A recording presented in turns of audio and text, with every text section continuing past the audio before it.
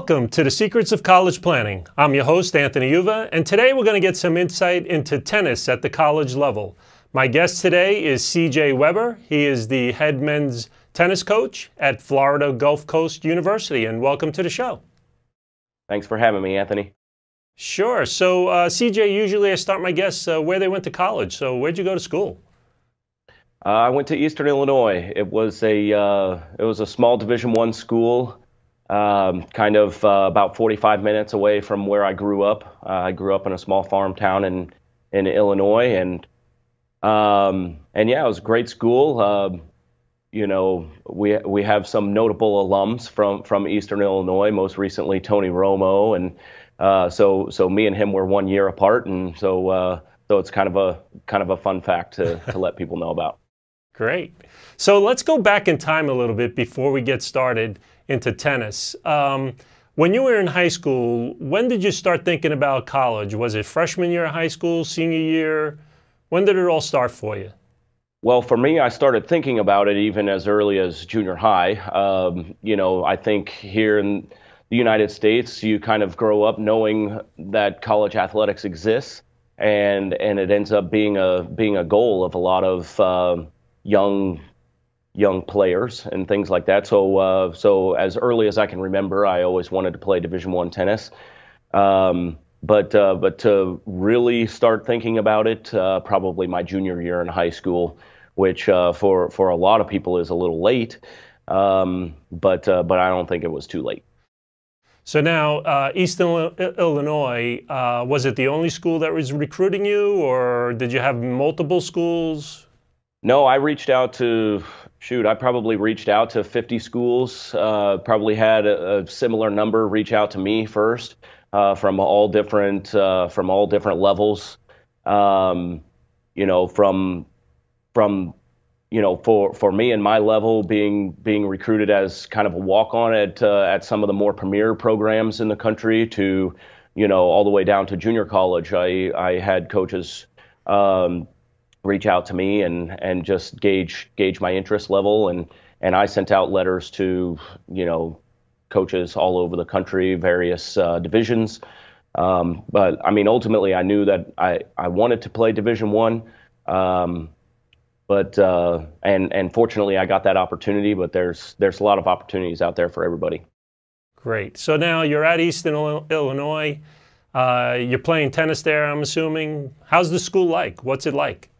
I loved it. I mean, my time at Eastern Illinois was just uh, it was a lot of fun. I I learned a lot. I you know I I grew as a young man. I learned a lot of my foundational you know professional um, I don't know principles, characteristics, things like that. Um, you know, it's very it's very interesting. In a month, I'm going to be inducted into the school's Hall of Fame. Wow! And so in uh, in four weeks, I get to go back and kind of relive some of those memories that I had from there, and um, and I'm just looking forward to that so much. I don't get to go back to Eastern Illinois very often, being here in Florida now, and uh, I just had a great time. It ended up being being a perfect fit for me. Um, I, I played high in the lineup. I got a good scholarship, and and both of those things were really important to me in in looking for a university. And and so you know I had great coaches, great professors, and and it was just it, I didn't know it when I picked it, but I I think it was the perfect fit for me. Great. So now you graduate from East Illinois. Uh, how does one go from graduating there to becoming the head men's tennis coach at uh, Florida Gulf Coast? Well, depending on how long-winded you want me to be, uh, I'll uh, you know, I could talk about a lot of different details, but I mean, out of college, I was kind of hoping to play a little bit professionally, but didn't quite have the financial backing. And I had um, I had a really good opportunity to get involved in um, at the University of Illinois program. Uh, the head coach there offered me a volunteer position, to where um, I was like, you know, if I uh, basically in my senior year in college, I, I, decided that I wanted to coach. I mean, I I kind of didn't feel like I had the level to really make it as a pro, so I kind of made that decision and then uh, started reaching out to various coaches and and the Illinois coach really took me under his wing, and uh, and offered me a spot there as a volunteer to work there for one year, and that just completely blew up my tennis world. Uh, I met so many coaches in five months. I traveled all over the country, and um, and from there, I was able to land a full time position at University of Miami as the assistant coach there. That's what brought me to Florida. I obviously fell in love with Florida. Uh, you can't uh, you can't go wrong being being in the state of Florida, coaching tennis, uh, and uh, so kind of wanted to stay down here after five years at uh, University of Miami. The head coaching job opened up at FGCU, and and I've been here now, entering my eighth year, and wow, can't can't believe it. wow, fantastic! So, let's get into the tennis uh, aspect of the show. Um, so, how do we get started with tennis? What what does a student athlete in high school have to do to to go on to college to play tennis? Well, that's a very uh, that's a very broad question, to be honest. But um, you know, you I think that it would be the same in any sport that you have to get exposure to uh, college coaches. So in a sport like tennis, um, you know, you have to play a lot of tournaments. You have to find out which tournaments uh, college coaches are interested in watching, which tournaments are highly attended by college coaches, so you can get exposure uh, from from you know from that regard. Um, you know, so I mean, at a foundational level, I mean that's that's the minimum that you need to do. I mean, not even talking about all the all the hard work and the numbers of hours that you need to play and the commitment and you know at at the Division One level in tennis, um, you know what any recruit would have to know on the tennis side is that tennis is a global sport and coaches are recruiting players from all over the world with uh, with all different kinds of backgrounds and many many players with uh, you know with high level professional background uh, who who are still trying to decide if they should turn pro or or um, or go to college. So you know e- even the United States is a very small piece of of what college tennis has to has to offer just uh, you know from from a recruiting standpoint so um, so I mean to play at the division one level I mean you have to you have to be a very finely tuned uh, tennis player in order to in order to find a find a place like that now does a does an amateur high school student have to have uh, uh an amateur ranking in the USTA or anything like that uh, I wouldn't say that it's necessary, but but it's important. Um, I think rankings and ratings are uh, good indicators of a player's level. Excuse me. Um, rankings and ratings are good initial indicators, but uh, but you know nothing is really going to accurately predict a player's you know true level or true potential. But uh, but I would say most college coaches probably start with some type of ranking or rating uh, to to gauge initial interest. Um, I would I would imagine most college coaches have a minimum kind of set requirement that that they're kind of looking for, and then after that they they start talking with kids and and figure out if they're a good fit for the, for their institutions. Now, do you recommend that a, a high school student uh, play on the high school team as well as play in all these tournaments uh, outside the school? I think for for every player is a little different. Um, you know, at the high school level, um, you know, most most really good tennis players are traveling around uh, either their states or countries playing their national tournaments in the United States here, playing USTA tournaments, playing ITF tournaments, you know, international tournaments. Uh, most really good players are going to be playing those types of tournaments. I would never discourage somebody from playing high school tennis, uh, almost no matter what level they are, um, simply because I think high school is a great time to kind of learn how to be a part of a team. Uh, which is an invaluable characteristic that that can't be measured. Uh, I don't think it's going to determine where you go to school or anything, but it'll probably give you a little bit of a head start in terms of, you know, with tennis being an individual sport, you're not you're not used to being on a team. So, um, so in high school, you know, if you have that opportunity to be a part of a team, I think that's a that's a plus. You know, yeah. but uh, but I mean, a tennis player really has to make sure that they get outside of the high school tennis world also, and and definitely play a lot of USTA tournaments. You know, if you have the financial backing, play some international tournaments, things like that. So now, how about uh, grades and skills? Uh, do you do you see that uh, high school students need to have uh, A plus uh, grades, or or can a B student get into college uh, and play tennis? And what type of skills do you need? Do you need them to be really fast? Does does do, they have to have a certain speed on their on their serve? Give us some examples of of what they need to, to go on to college. Well, uh, from a from a grade standpoint, uh, here at FGCU, I just want uh, my players to be able to get into school on on their own, to be able to get through admissions and uh, and meet the minimum requirements of the of the university, which there are some sliding scale things. So it's kind of even difficult to say exactly what every student you know needs to get into school here. But um, but I mean, for me, you know, coaching coaching at the Division One level, I mean, it's uh, you know grades are grades are extremely important, and I want my I want all of my players to to graduate with a good degree and and and study hard, but um, but I also want to compete at the highest level in the country, and so um, so there's there's no getting around the the fact that uh, a tennis level is is you know is probably the most important thing that uh, that comes into you know who I recruit and you know in addition to that I would I would say for me it would be tennis level and even above grades would be character um, character, you know, is it a good fit for me, a good personality fit uh, for me? Because I think that uh, if it's a good fit for, for me as a coach to work with a player, uh, then then I can teach that player how to be successful in school. I can teach that person how to be successful at university, both academically, athletically, and socially. So now a student athlete comes to Florida Gulf Coast. Um, what can they expect? Give me a whole year's worth of what the student goes through. Do they get to school in August? Do they come in September?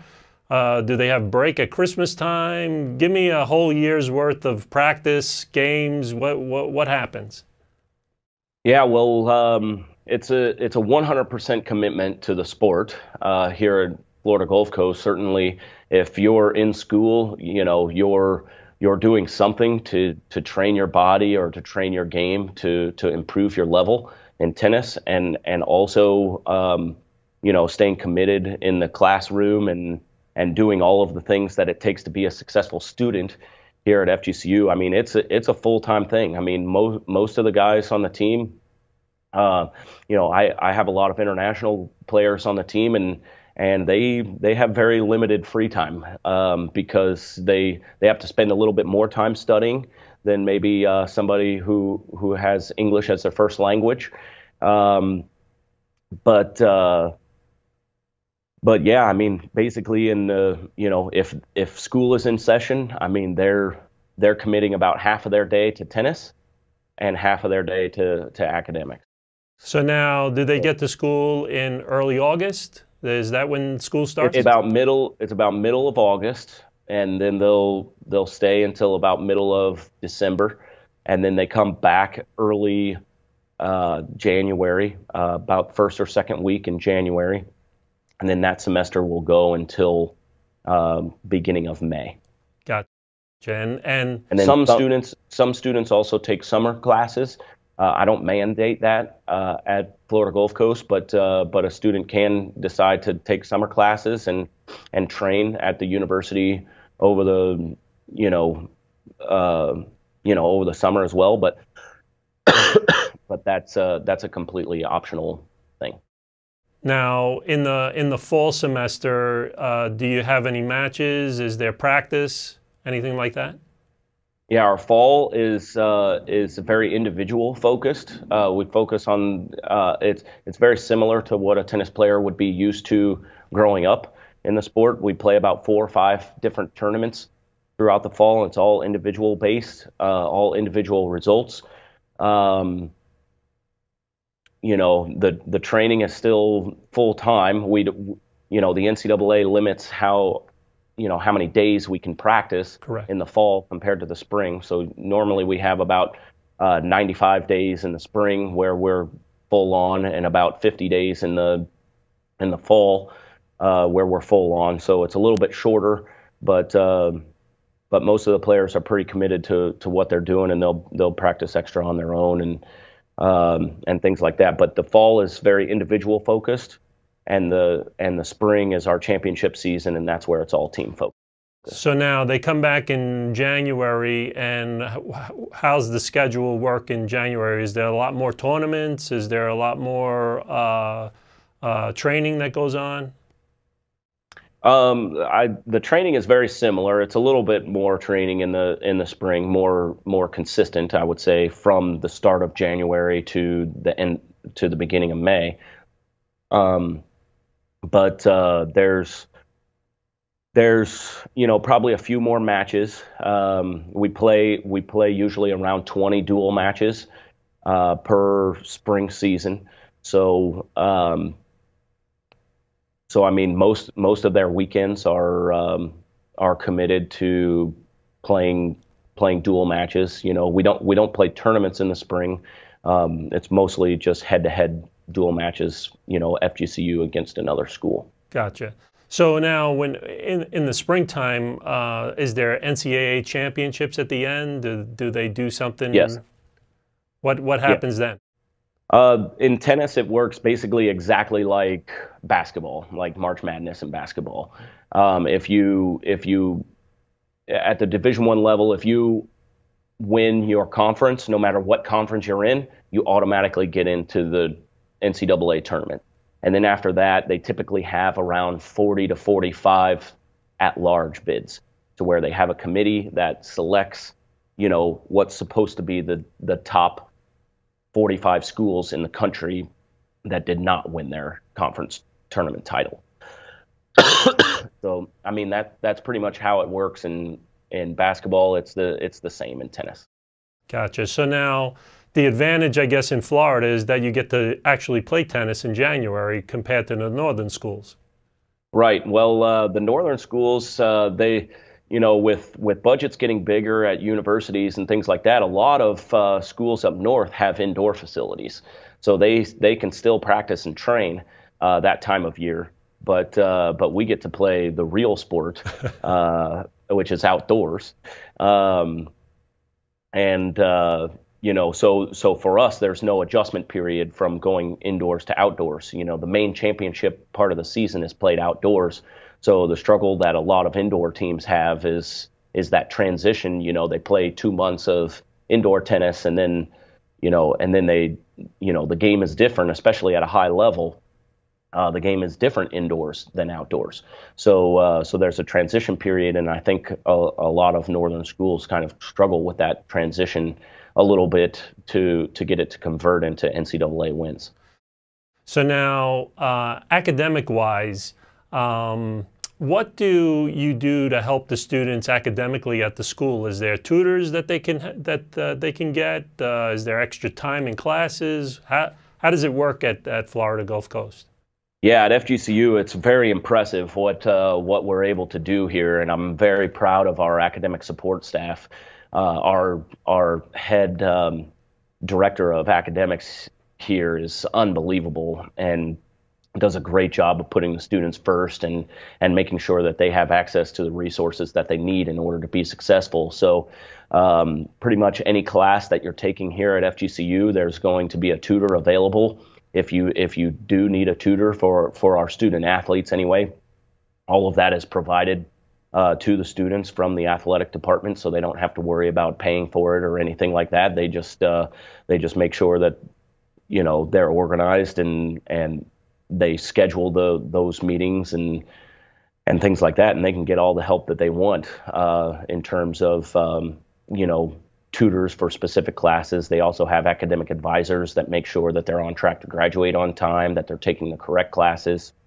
Um, we have a beautiful new um, academic support center that uh, is only a year old and it has individual tutor rooms. It's got a huge computer lab, a, a big conference room, couple offices, and and uh, it's just really, really state of the art. I, you know, I don't think there's another university that has as nice of an academic uh, center as we have here at FGCU. We're very lucky. Now, uh, how about uh, scholarships at the Division One level uh, schools? Is there a lot of scholarships that tennis has? Is there none? Is there money? How does that work? Yeah. Um, well, on the men's side, there's there's not quite as much money uh, as there is on the women's side. Uh, on the men's side, at the Division One level, you're limited to four and a half uh, full scholarships.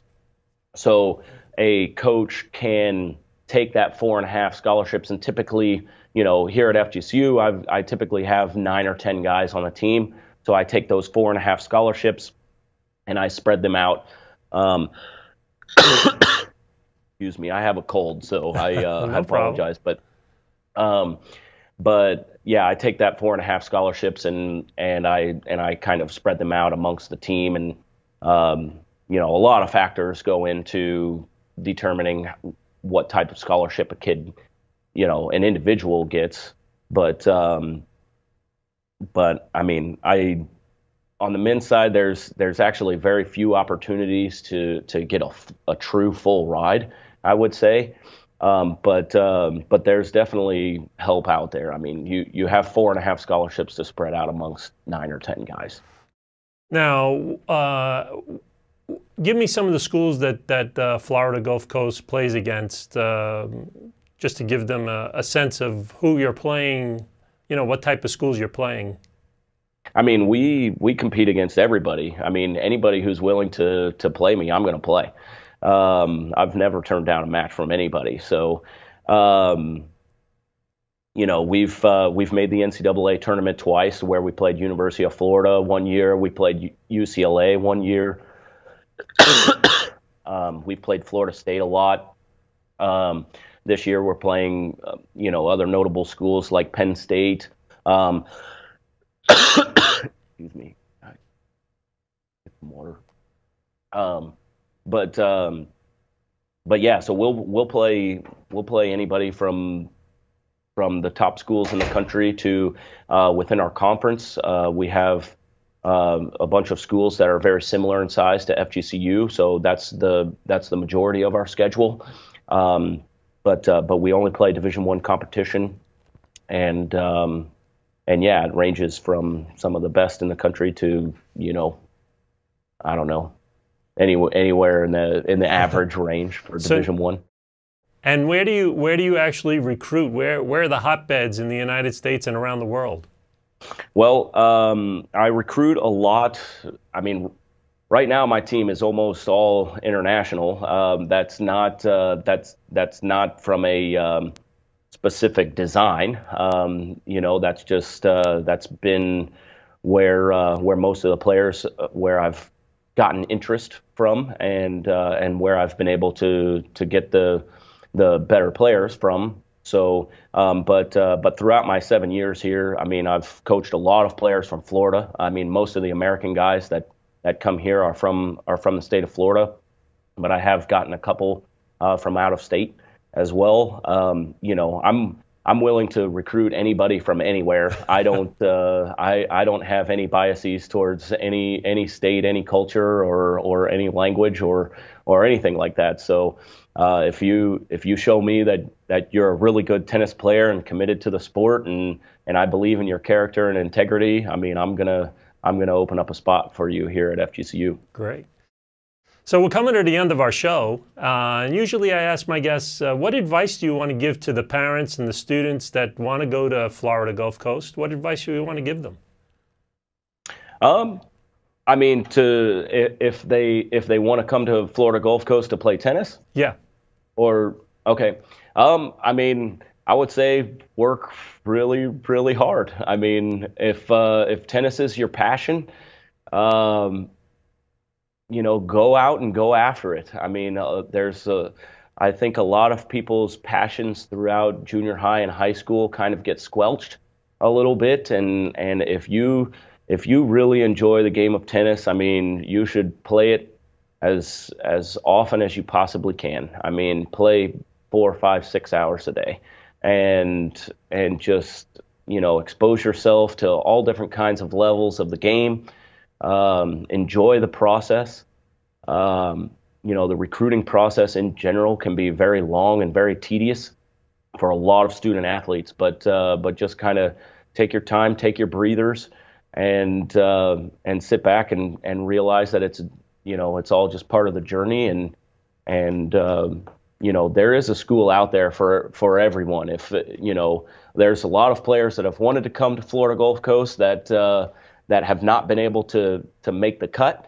Uh, but I would still encourage those players. Um, I would still encourage those players to to find a school that is that is the right fit, and and if you do, you are going to love college tennis. It is the it's the absolute best thing in the world. It's the best part of a tennis player's career, and um, and yeah, I would I would want everybody to experience that. Well, great. Well, thank you very much for coming on the show. I appreciate it. All right. Thank you very much, Anthony. And you've been watching The Secrets of College Planning. I'm your host, Anthony Uva. Until next time.